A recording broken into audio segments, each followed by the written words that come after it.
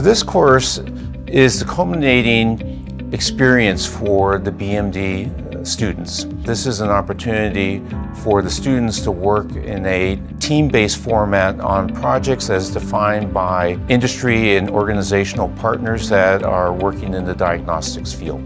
I'm Chris Yoo. I'm CEO of Systems Imagination and a faculty associate in ASU's College of Health Solutions. Every year we have uh, a group of very bright, very excited ASU students who are taking a class in the College of Health Solutions. It's an applied class, which means that they take the knowledge that they've learned throughout their coursework and carry out projects with companies like mine and create solutions. They get to work together in teams and solve real world problems, which I think is invaluable to their education.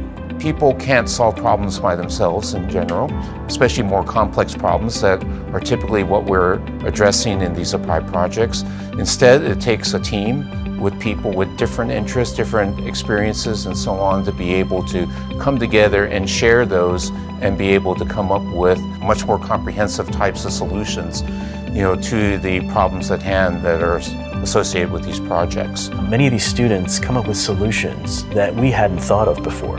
So we give students exposure to real world problems, and in return, they give us a, a, fresh and sometimes very innovative way of looking at solutions.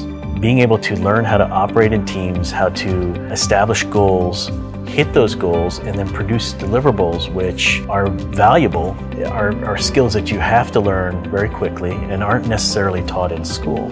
I feel that those internships that they do in this program actually give them a leg up on other graduates from other other places because they, they can say, I have been through this before. I recognize this and I know how to operate in a team to, to accomplish deliverables. That's that's very valuable.